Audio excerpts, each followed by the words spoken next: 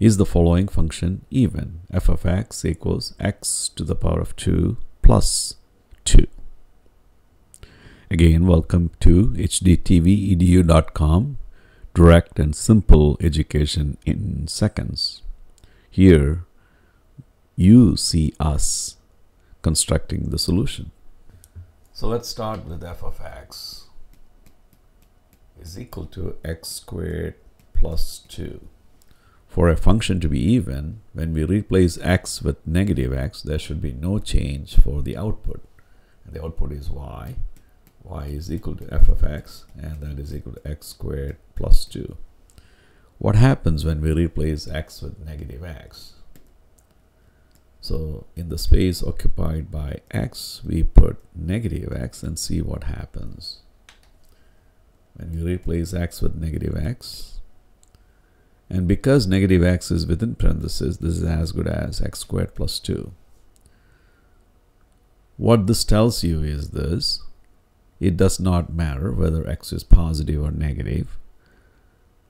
The y value remains the same. For example, when you put x equals 1,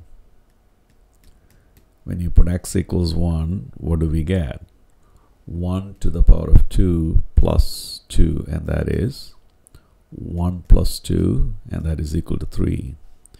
So 1, 3. When you put x equals negative 1, negative 1 to the power of 2 plus 2 and that is 1 plus 2 and that is 3.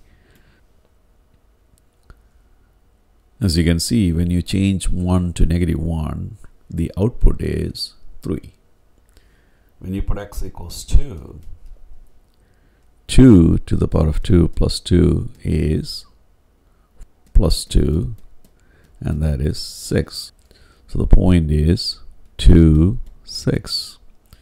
When you put x equals negative 2, negative 2 to the power of 2 plus 2 and that is again 4 plus 2 and that is 6.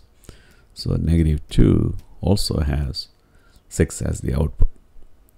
So this function is even. It is going to be symmetric about the y-axis. We are given the function f of x equals x squared plus 2 for a function to be even. When we replace x with negative x, there should be no change. The graph has to be symmetric about the y-axis. And that's what we see, so the function is even. When you put 0, when you put x equals 0, you get 0 plus 2 and that is 0 squared plus 2 and that is 2. So what is our point? Our point is 0, 2. When we put x equals 1, 1 to the power of 2 plus 2 and that is 1 to the power of 2 is 1, 1 plus 2 is 3. So we get 1, 3. When you put x equals negative 1, we get negative 1 to the power of 2 plus 2 and that is again 3. So when we replace 1 with negative 1, the y value is still 3. When we put x equals 2, 2 to the power of 2 plus 2 and that is 6. So our point is x equals 2, y equals 6. When we replace 2 with negative 2, it is negative 2 to the power of 2 plus 2, and that is 4 plus 2, because negative 2 times negative 2 is positive 4. 4 plus 2 is 6. So you again get negative 2, 6. So when we replace 2 with negative 2, the y value remains the same at positive 6. So let's plot this on a graph paper. 1, 2, 3, 4, 5, 6, 7, 8. 1, 2, 3, 4, 5, 6, 7, 8. Negative 1, negative 2, negative 3, negative 4, negative 5, negative 6, negative 7, negative 8 negative 1, negative 2, negative 3, negative 4, negative 5, negative 6, negative 7, negative 8. All right, when you put x equals 0, you get 2. 0, 2. When you put x equals 1, we get 3. 1, 3.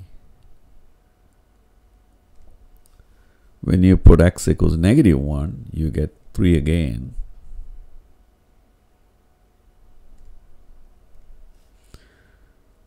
When you put x equals 2, you get 6.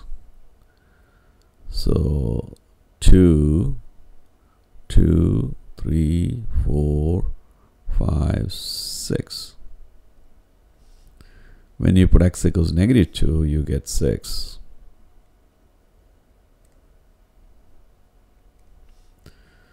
So as you see, we get a curve that is going to be symmetric about the y-axis. Again, you put wet paint on the side. And immediately you see that our function is symmetric. All right. And this is George Mathew signing off. Good luck.